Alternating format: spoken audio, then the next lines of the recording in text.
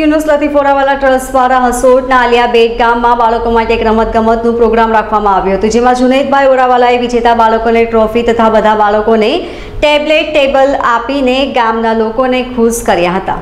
હસોટથી આઠ કિલોમીટરના અંતરે આવેલા આલિયા બેટ ગામમાં છેલ્લા ત્રણસો વર્ષથી લોકો વસવાટ કરી રહ્યા છે. ગામના લોકો એટલા બધા ગરીબીમાં જીવી રહ્યા છે કે ગામના દ્રશ્યો જોઈ દરેક માણસ આશ્ચર્યચકિત થઈ જશે.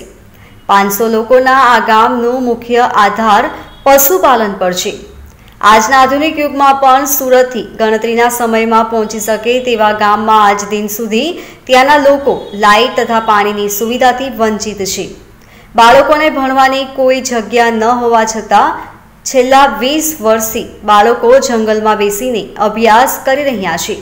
તેવા બાળકોનો આત્મવિશ્વાસ વધારવા માટે ખિદમત ચેરિટેબલ ટ્રસ્ટ તથા લેટ યુનુસ લતીફ ઓરાવાલા ટ્રસ્ટે આલિયા બેટ ગામની મદદ કરવાની પહેલ કરી છે. આજરોજ બાળકો માટે રમતગમતનું પ્રોગ્રામ રાખીને બાળકોને ઇનામ આપ્યું હતું અને સમગ્ર પ્રોગ્રામનું આયોજન જાવેદભાઈ ધેનધેનવાલા તેમજ તેમની ટીમે કર્યું હતું. જેમાં મુખ્ય મહેમાન તરીકે જુનેદભાઈ ઓરાવાલા તથા તેમના પરિવારના સભ્યો હાજર રહ્યા હતા. જેમાં તેમણે બાળકોને ટેબ્લેટ, ટેબલ તેમજ રોકડ રકમ પણ આપી હતી. વધુમાં જુનેદભાઈ ઓરાવાલાએ જણાવ્યું હતું કે ગામના લોકો ગરીબીની રેખા નીચે જીવન વિતાવી રહ્યા છે, જેથી સુરત તથા આજુબાજુના વિસ્તારના લોકોને જેટલી બને એટલી મદદ ગામવાસીઓને કરવા આગ્રહ કર્યો હતો. આ જગ્યાનું નામ છે આલિયા બેટ જે જંગલ વિસ્તારમાં આવેલું છે અને હાંસોટના ગામથી સાત કિલોમીટર યા આઠ કિલોમીટર દૂર છે. અહીંયા પ્રોગ્રામ રાખવામાં એ આવ્યો છે કે અમારા જે જાવિદભાઈ ઘેનઘેન, જે ખિદમત ગ્રુપ, ચેરિટેબલ ટ્રસ્ટ છે, એમના થ્રુ આ પ્રોગ્રામ રમતગમત અને બાળકોને પ્રોત્સાહન મળે એવા અમુક કાર્યક્રમો રાખવામાં અહીંયા આવ્યા હતા. અને આ પ્રોગ્રામો અહીંયા જાવિદભાઈની ટીમે અને જાવિદભાઈએ ઘણી સારી રીતે એને આયોજનપૂર્વક કામ પૂરું કર્યું. આ ગામની મુલાકાત લીધા પછી એવું લાગે છે કે અમે ક્યાં આવી ગયા છીએ. ને આ ગામના લોકો, આ ગામના બાળકો, આ ગામના જેટલા બી આગેવાનો જેવા કે મોહમ્મદભાઈ અને અહીંયા જે બે હજાર ચારથી જે ડ્યુટી સરની નિભાવે છે, જે બાળકોને ભણાવે છે, એવા વિનોદ સરને અમે કદી ન ભૂલી શકીએ. અમે એમને સલામ કરીએ છીએ. અમે એમને સેલ્યુટ કરીએ છીએ. આ બે ટ્રસ્ટ થ્રુ કામ કરવામાં આવ્યું હતું.